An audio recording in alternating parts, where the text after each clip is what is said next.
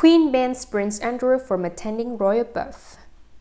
Queen Elizabeth II has reportedly been forced to intervene in her children's affairs again to prevent another royal celebration from being ruined. According to OK, a palace insider said nationally claimed that Her Majesty is fed up with her son Prince Andrew's sex scandal ruining her grandchildren's milestone events. As a result, the reigning monarch has reportedly stepped in and banned Andrew from the delivery room when his daughter Princess Eugenie gives birth. Her Majesty, I felt that was so dirty to ban Andrew from the delivery room officially, the palace aide claimed to the American publication. The feeling of the palace is he doesn't deserve the love of his family after his behavior. Andrew is rumored to be devastated by the alleged banning and has reportedly tried to convince his daughter to change her mind, but she is standing by the Queen.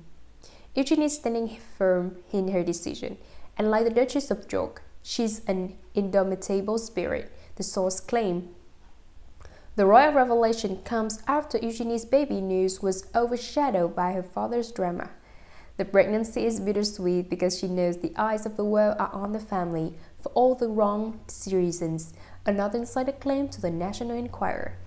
But despite the drama, the 30-year-old still had reason to rejoice recently when she and Jack celebrated their second wedding anniversary.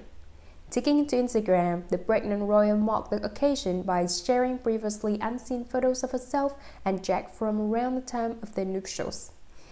Been the past two years married to you and 10 years with you in total. Happy memories always, my dear Jack. Eugenie captioned a video montage of snaps.